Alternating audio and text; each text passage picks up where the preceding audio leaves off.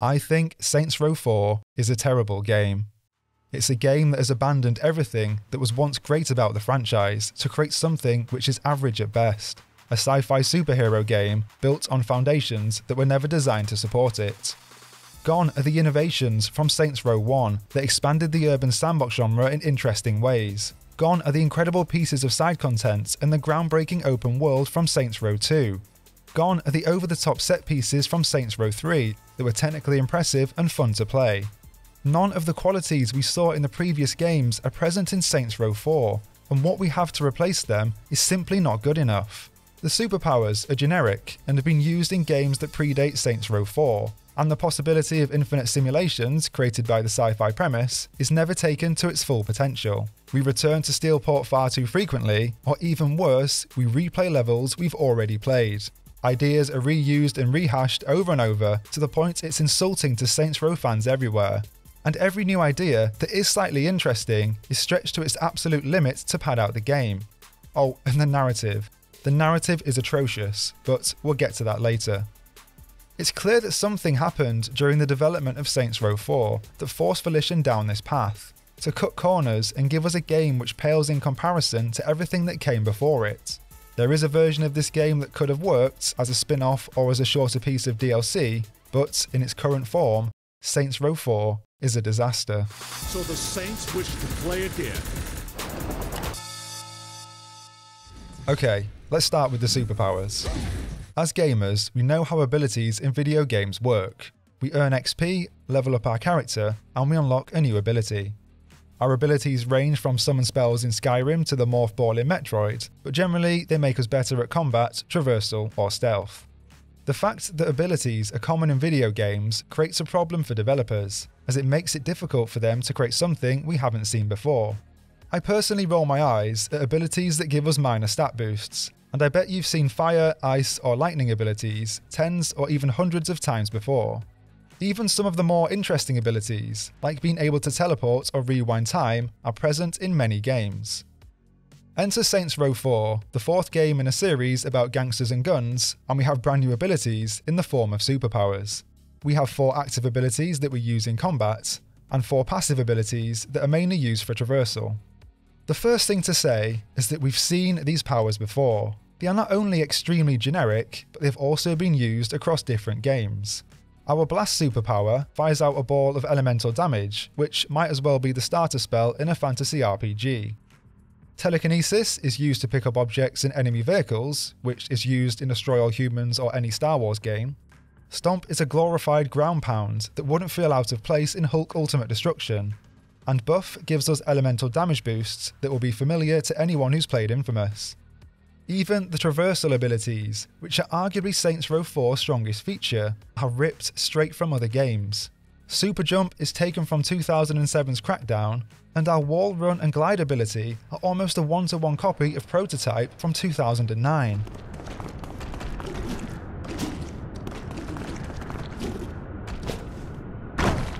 In fact, so much of Saints Row 4 is similar to Prototype that I'm sure Volition just copied ideas over, we can cling to walls and scale buildings.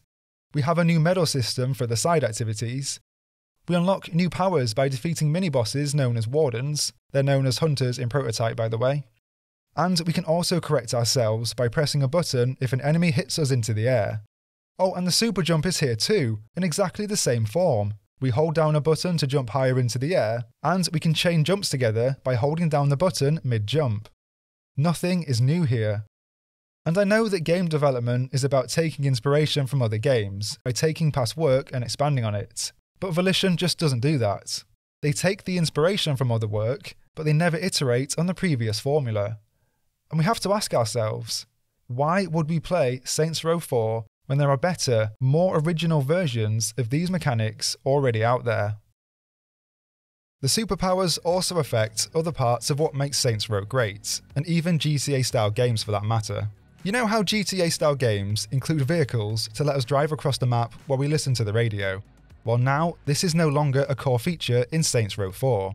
Because we can sprint at super speeds and basically fly across the map, there is no reason to use vehicles in the game. Why would we waste time hijacking a random vehicle or calling in a car we've upgraded when every option is much slower than the standard movement system?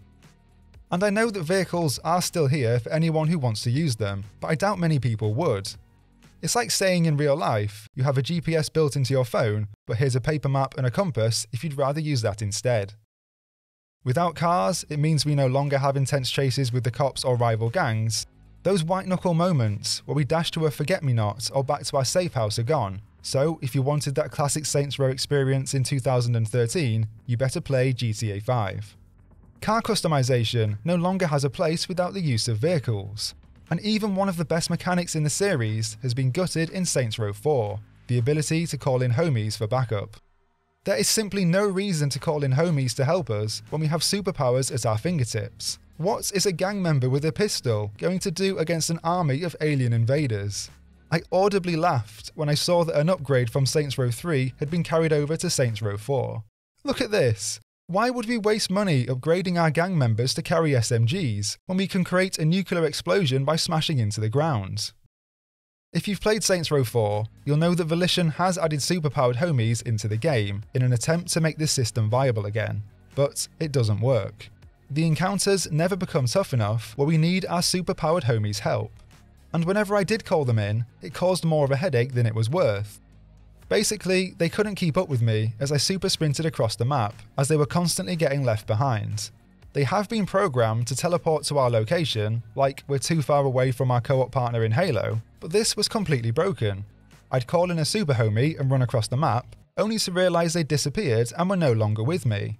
For some reason, they despawned or left the area, or there's a bug. I'm not entirely sure, but yeah, not a good system.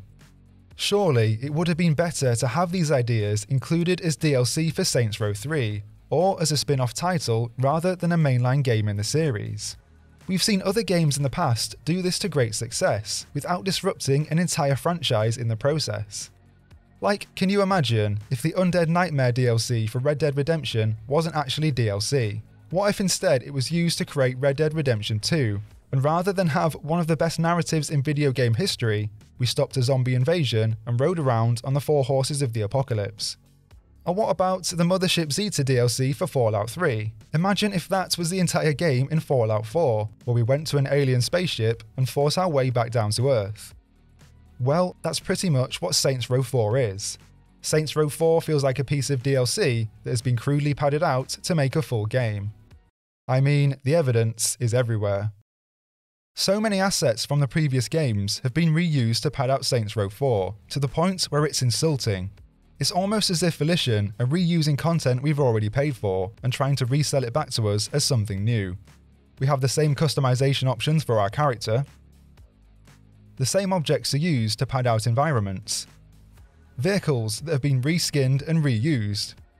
And there are reused bosses reused levels, and an entire map that's been reused. Yep, in Saints Row 4, we're back in Steelport. Exactly the same Steelport from Saints Row 3 that was never good to begin with. It's the same bland map that doesn't have enough distinct areas to create a compelling space to explore, and it's the same map with an open world that is stilted and lifeless. Unlike Saints Row 2, where Volition were pushing the boundaries of open worlds in 2008, Steelport was a significant step back, so why Volition thought it was a good idea to reuse it again is baffling. And I know that reusing assets is a core part of game development, as it makes sure the team can focus their resources on the places that matter. They can spend time developing new gameplay elements, rather than wasting time creating tiny details that most people wouldn't even notice. Volition also reused the map from Saints Row 1 in Saints Row 2, so what's the issue here? The difference is that Volition hasn't expanded the map like they did in Saints Row 2, Saints Row 2 included new districts and added groundbreaking interior spaces that were huge in scale and full of detail. This meant exploring Stillwater for the second time in Saints Row 2 felt new. But in Saints Row 4, it's exactly the same map with the same layout and the same boring design. We walk down the same alleyways we've already walked down. We see the same adverts we've already seen. And we pass the same buildings we've already passed. You could argue that the new traversal system makes the map feel new, as we are interacting with Steelport in a completely different way. We spend less time exploring on the ground and more time in its vertical space. And if we did stop to appreciate Steelport, there are new alien structures on the map and brand new effects. I did enjoy these changes, but they never made this space feel different enough compared to Saints Row 3. Volition could have done more here by adding in new areas and designing them to take advantage of this new traversal system, or by giving us new places to explore, just like they did with Saints Row 2. But Volition doesn't do any of this. Instead, they reuse assets everywhere, which makes the game feel cheap. Look at the main missions and you'll see what I mean. So, this is a mission for Pierce where we have to save him from a simulation. Our enemy in Saints Row 4 is an alien overlord called Zinyak, and he's basically torturing the Saints by making them relive their worst nightmares. For Pierce, this means a marketing campaign has gone wrong and he's been attacked by a giant Saints Flow can called Paul. That sounds quite cool, doesn't it? We rescue Pierce and we have a Pacific Rim style showdown against Paul. But do you notice something about this location? Well, if you've played Saints Row 3, you'll know that this is the penthouse from the opening missions in the game.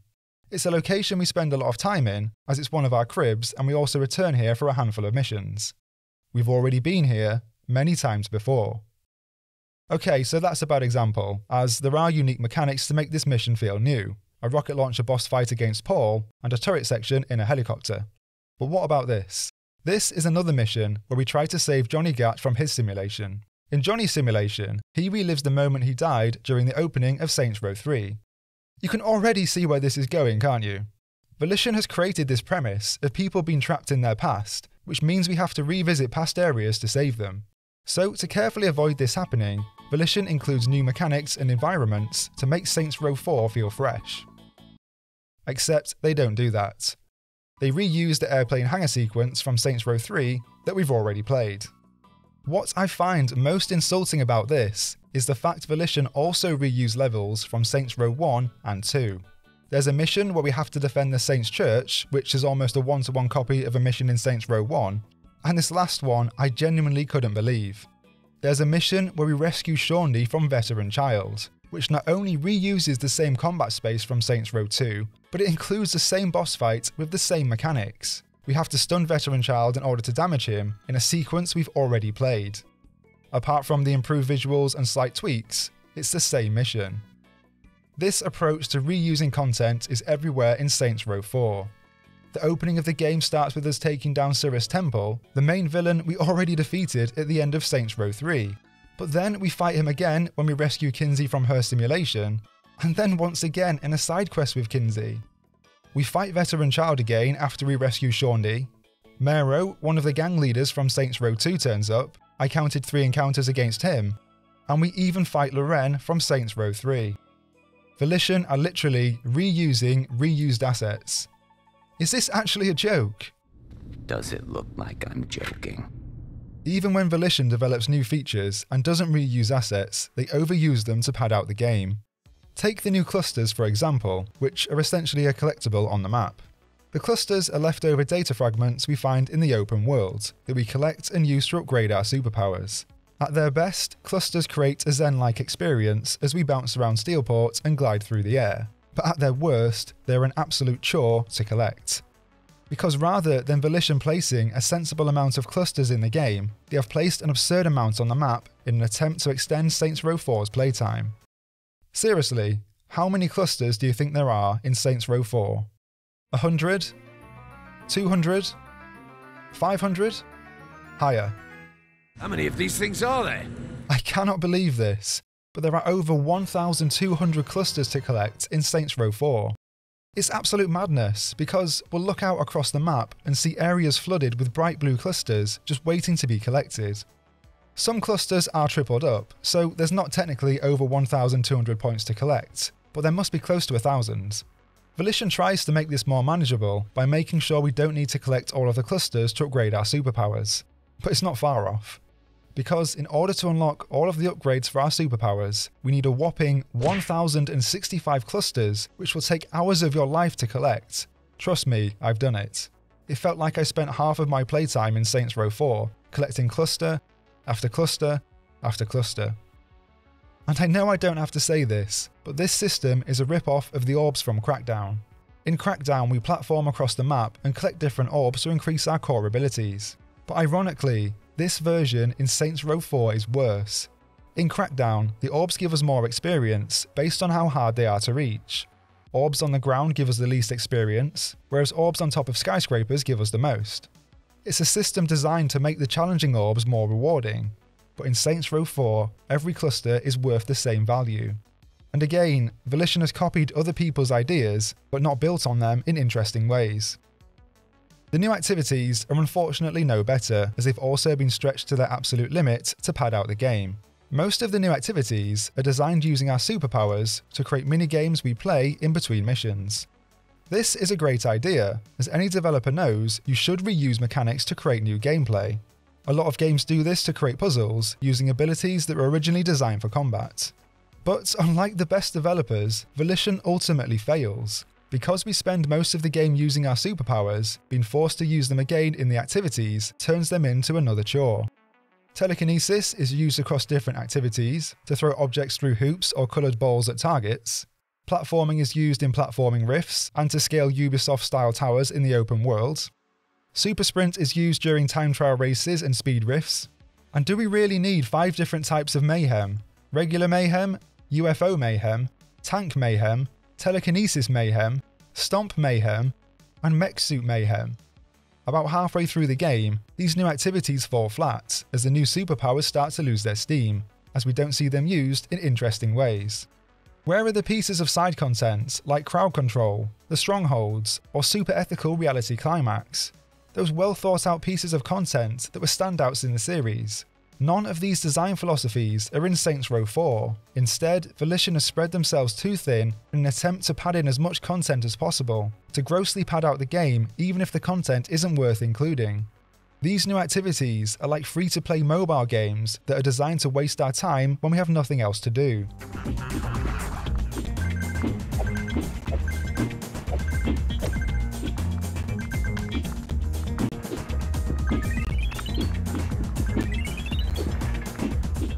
It's also clear that Volition were running out of ideas towards the end of the game, with the same telekinesis mechanic used across the main missions.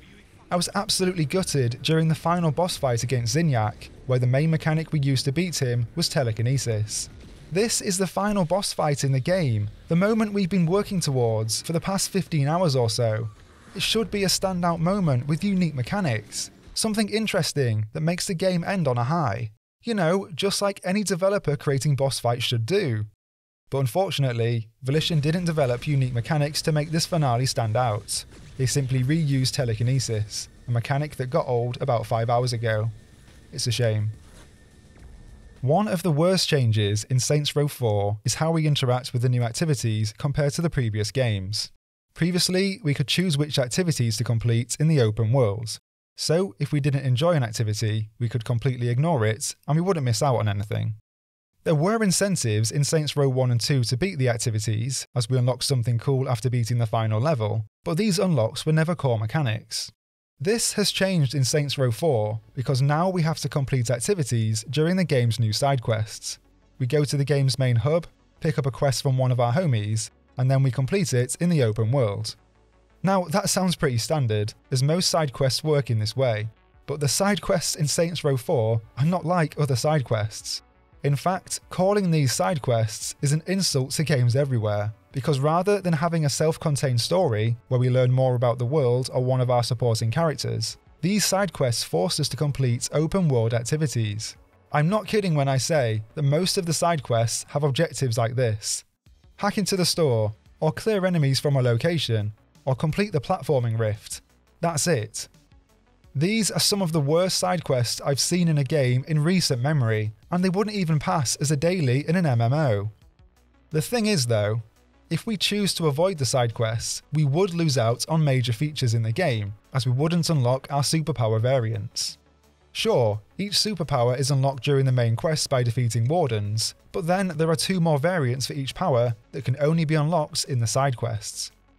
So this means we have to engage with the following loop. We run back to our hub, pick up a quest, run back into the open world to complete it, then run back to the hub to complete the quest. Pick up another quest, rinse and repeat. What I struggle to understand is the way Volition has designed these quests in the wider space of Saints Row 4. They haven't locked the activities behind the quests because we can still complete them in the open world. This got me thinking, because if we can complete the activities in the classic way, then why are these side quests here? I decided to test this by beating every activity on the map in the open world and ignoring the side quests completely. If every activity was complete, then surely that means the side quests are complete too.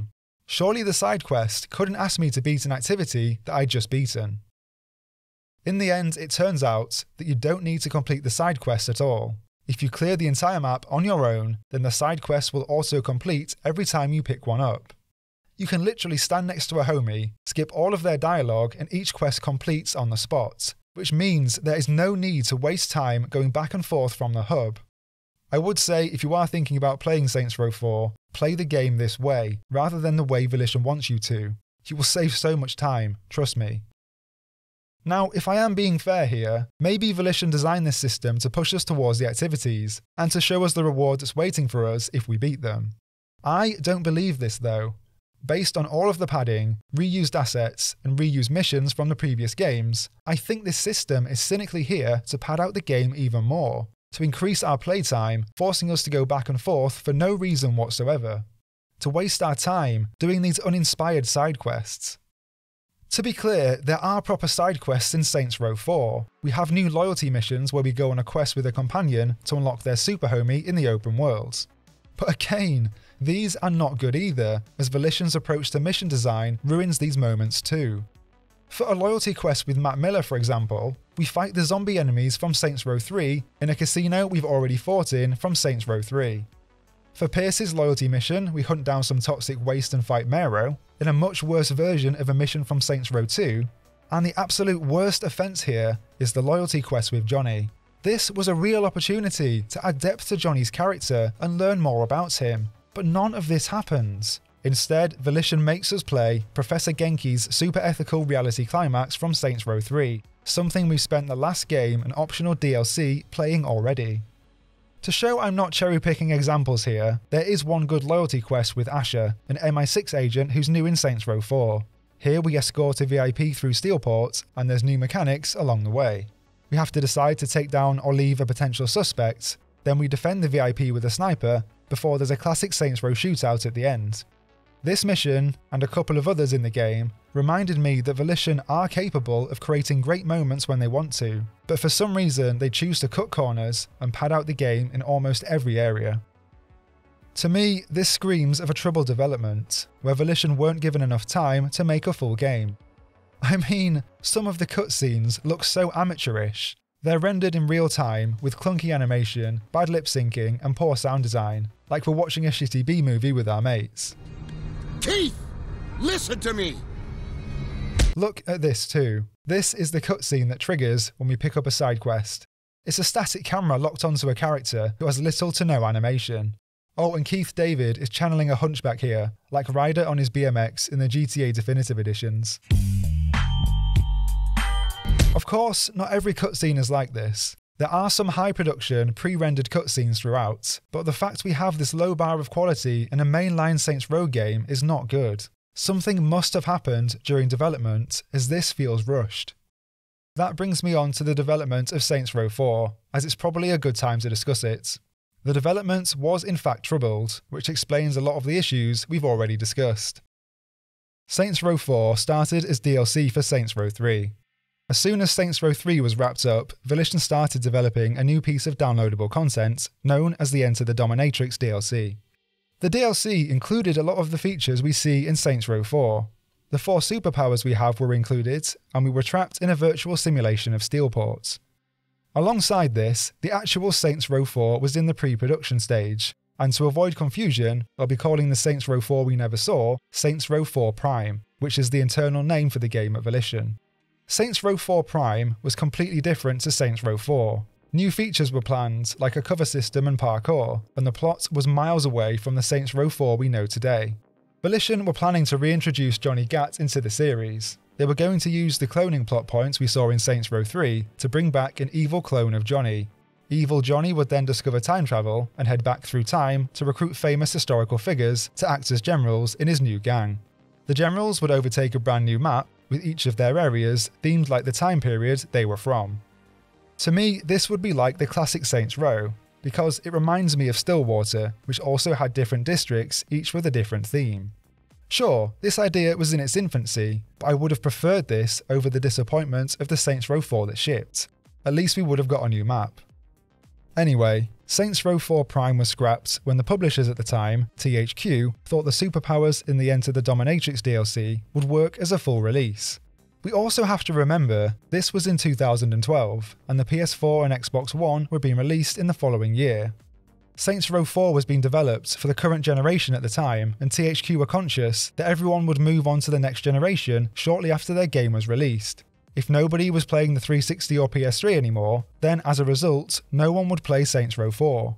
After this decision was made, there was more trouble at the studio when THQ went bankrupt. Volition were left without a publisher until Deep Silver acquired them at the start of 2013. The timeline is a little muddy, as information from inside development studios is difficult to track down, but it sounds like time was against Volition. Yeah. So then they decided, they said, okay, take what you've done with Enter the Dominatrix, Saints Row 3.5, turn it into a full fledged Saints Row 4. And we were just kind of like, what? And this was hmm. literally a month before we were going to submit the game, Goldmaster. Right. Zach Lowery, the animation director on Saints Row 4, says something similar in his 2014 GDC talk, when he highlights time was tight and there was some serious crunch at the studio. So, animation direction overview. What was the animation direction overview? Due to an extreme time crunch between Saints Row 3 and 4 and THQ's need to kind of push out another product, it didn't change from Saints Row 3 to 4. All of this makes complete sense in hindsight. The mountain of reused assets, missions, and map aren't in Saints Row 4 because Volition were being shady, it's because time was against them to finish the game before the Xbox and PS4 released. That's why the game also has more bugs than I ever encountered in Saints Row 1, 2, and 3 combined. I got stuck below the map, and I saw bosses get stuck in the environment a couple of times. It's why the narrative is atrocious, with plot points that don't make sense. It's because Volition took their ideas from the Enter the Dominatrix DLC and moulded the Saints Row franchise to fit in with these ideas. Take the entire setup of the game. It starts with the Saints being involved in an anti terrorist plot to take down Cyrus Temple, who we already know is a reused character from the first game.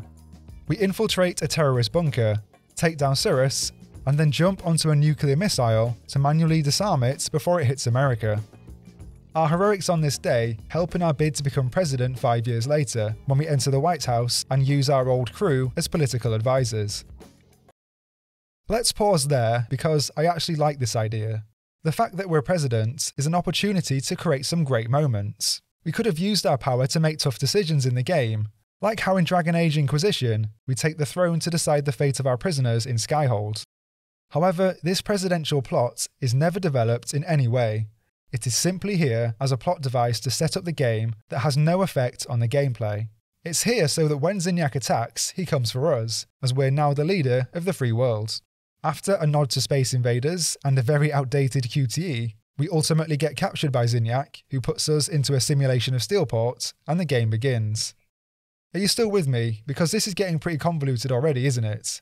Let's just say if you've ever seen The Matrix, it's like The Matrix. Actually, it's not just like The Matrix, it is The Matrix, with spaceship sequences through tight sci fi corridors, people waking up in the real world in a gooey pod, and a moment that oddly channels one of the worst moments from The Matrix Reloaded. Again, and I know I've said this a lot, but we've seen all of this before. Objectively speaking, I am okay with this setup as it does make sense, but the problem is, as the narrative goes on, it completely falls apart, as Volition includes outrageous plot points just to make the game function in the way they want. For example, once we break out of the simulation early on, we see Zinyak blow up planet Earth, murdering 7 billion people, and no one even bats an eyelid. Rather than this being a dramatic highlight in the narrative and used as a narrative point of no return, like most things, it's here simply to make the game work. Because we break out of the simulation, see Earth get blown up, and then immediately decide to go back into the simulation we've just broken out of. Why would we do this? I mean, there is a reason for this, but it's very weak. I'll just let Kinzie explain what it actually is. The president is right. Whenever the simulation simulation is disrupted, I have a small window to work my way inside the Zin security network. The more it's disrupted, the more time I'll have to map out Zinyak's mothership. I can identify structural weakness, locate where they're keeping our friends. And find Zinniac. Yeah. Hello? This is only here so Volition can include the real world sci fi Matrix stuff. They want to include missions in the real world where we fight through alien ships with a mech suit. But if we never broke out of the simulation, none of this could happen. So they've quickly written a plot point which doesn't make sense. We see this everywhere too. Characters double cross us to allow Zinyak to ambush us, except the character then changes their mind about half an hour later. We use a key to crash the simulation, which makes me question why we wasted all that time trying to disrupt it in the first place. And by far the worst moment comes when Volition decide to bring back Johnny Gat and show a complete lack of respect for continuity in the series. It turns out Johnny Gat didn't actually die in Saints Row 3. Instead, he was abducted by Zinyak, who put him in a simulation for the past five years. Apparently, Zinyak abducted him first because he was impressed with Johnny's skills in combat and had to take him off the battlefield before his invasion. Come on, guys, I'm not buying it. These plot points, like most of the game, are an insult to fans of Saints Row everywhere. Though video games aren't exactly renowned for their storytelling. I genuinely couldn't believe the moment that Volition included Keith David in the game. Just like Burt Reynolds in Saints Row 3, the actor Keith David is in the game playing himself.